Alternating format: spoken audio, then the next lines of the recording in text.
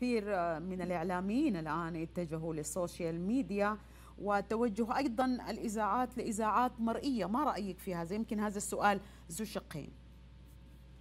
طبعا أنا بالنسبة لي ال social media هي في الأساس كانت عبارة عن فحوى تسويقي تواصلي.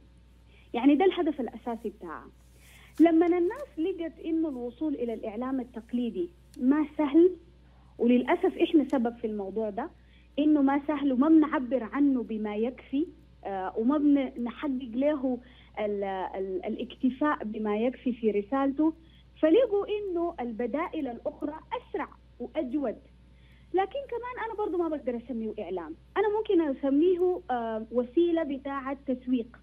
لكن ما بقدر أسميه إعلام. ليه؟ لأنه الإعلام لازم وراه يكون في مؤسسة. طيب لازم يكون فيه فكرة. نعم, نعم. طيب أستاذة معلش ما قطع لي كلامك بس عشان كلامك جاب لي سؤال مهم جدا يمكن فكرتك وصلت.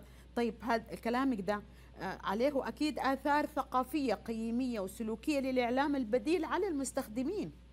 بالطبع بالطبع. عشان كده نقطتين كنت عايزة اذكرها لك إنه أنا لما أقول ده إعلام لازم ما وراء الإعلام اللي أنا بقدمه يكون في زول مسؤول. يعني في زول بيعمل الضابط بتاع الأخلاق ده. في زول بيعمل الضابط بتاع انه يا جماعة الكلمة دي لا تستخدم هنا.